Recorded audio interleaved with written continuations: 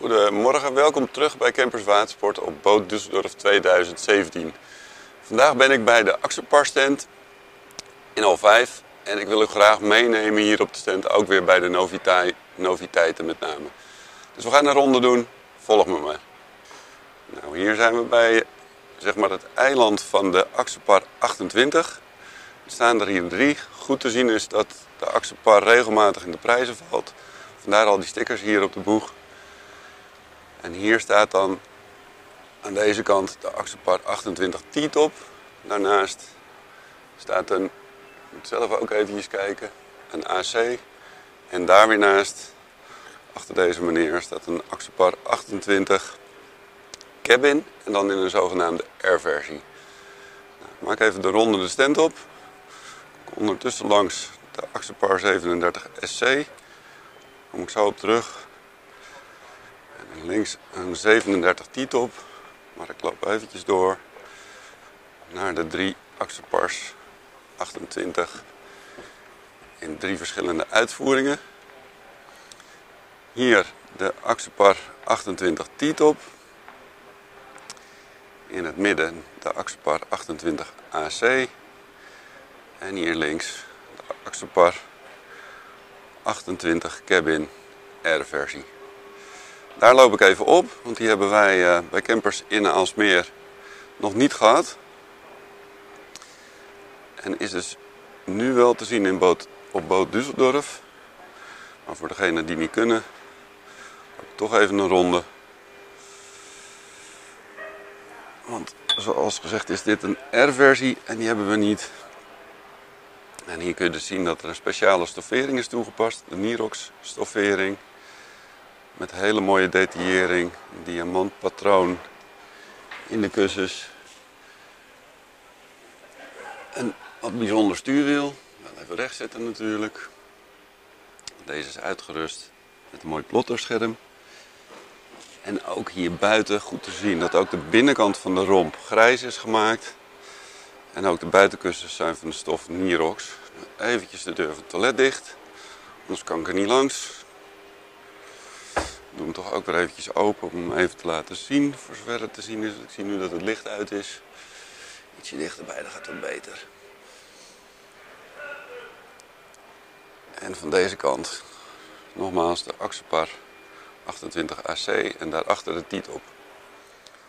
24 in een T-top versie. Die hebben we hier staan. Bij ons in de showroom staat de Axopar 28 open. Maar hier hebben we dus de Axopar 28 in een T-top versie staan. Deze uitgevoerd met een beige stoffering. En nu ook een uh, wat zwaardere motor mogelijk. Hierachter zit een Mercury Verado 250 pk.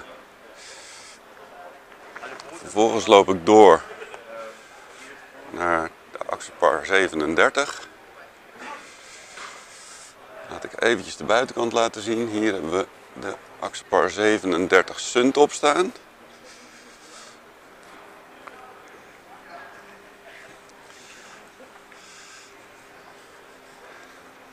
Suntop dus. Ook die heeft een aantal awards uh, gewonnen. Nou, hier het zonnebed aan de voorkant. Het wordt nog eventjes schoongemaakt voor de beurs. Hallo. Good, thank you. Hier te zien dat deze 37 Suntop een verlengd dak heeft. Het achterste gedeelte is ook opklapbaar. Groot zonnebed. Vooral de zit in het midden is echt super ruim. Dan kun je echt met een flink koppel zitten. Tafel kan ook naar beneden, dat je hier een groot lichtbed van kunt maken, zodat je uit de zon in de schaduw kunt liggen. Ondertussen stap ik voorzichtig eventjes aan boord. Even ook wat van de binnenkant te laten zien. Sneak preview, ik ga niet helemaal naar binnen. Want we hebben nog een aantal boten te laten zien. En dan ga ik bij deze langs lopen. Hierachter hebben we staan Axopar, Axopar 37 AC. Met 2 keer 300 pk Mercury Verado. Daarnaast de Axopar 37 T-top. 2 keer 350 pk Verado. Ik ga er kort eventjes op, er staan nog andere mensen, dus ik kan niet alles laten zien. Deze buitenkeuken vind ik zelf bijzonder leuk. Even de folders weghalen.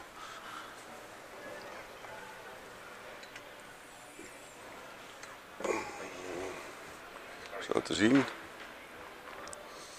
Het is ook een klein kombuisje. Een goede koelkast. Een hele leuke boot om lekker verankerd te liggen. Met een flink koppel. te genieten van zee en zon. En ook hier weer een grote buiten zit.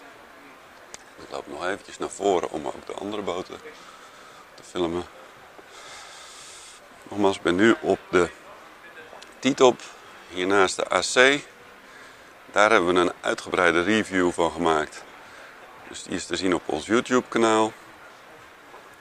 En dan kan ik alvast van een afstandje de primeur hier op de stand filmen.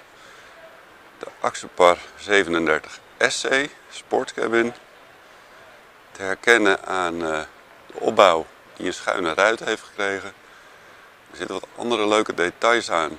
En een leuke optie, eigenlijk geen optie, maar standaard iets, is het elektrische schuifdak. Dat is dus bij de, bij de SC elektrisch in plaats van handmatig bij de andere 37's. En wordt gekeken om die als optie ook op de 37 in de andere versies beschikbaar te krijgen. Maar ik ga even rondlopen en dan laat ik daar wat meer van zien. Dan ga ik er eventjes op. Bij deze zijn we bij de Axopar 37 SC. Hier dus ook die leuke buitenkeuken. Grote kuip. Hieronder zitten nog een paar luiken. Waar je behoorlijk wat kwijt kan. En dan ga ik even naar binnen toe om even het interieur te laten zien.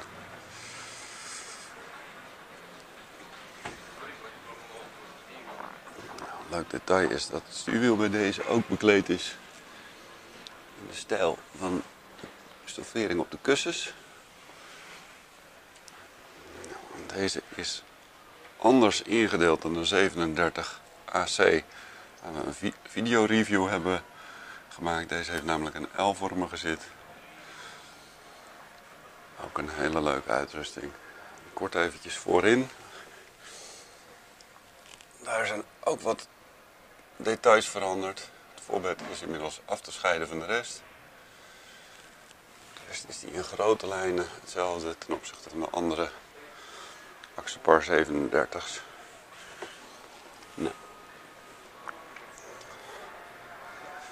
Daarmee ben ik aan het einde gekomen van uh, nou ja, dit korte stukje op de stand van Axopar. Half vijf, Boot Düsseldorf. Duurt nog tot en met zondag de 29e. Dus bent u in de gelegenheid om deze kant op te komen, doe dat alsjeblieft. We hebben lekkere koffie op elke stand. Dus ook bij Linse, Sieré en Borstenweler. Van harte welkom. Eventuele comments graag uh, nou ja, in, uh, als post op het Facebook uh, bericht of op ons YouTube kanaal. Maar ik hoop u graag te zien. Dank voor het kijken. Graag tot ziens.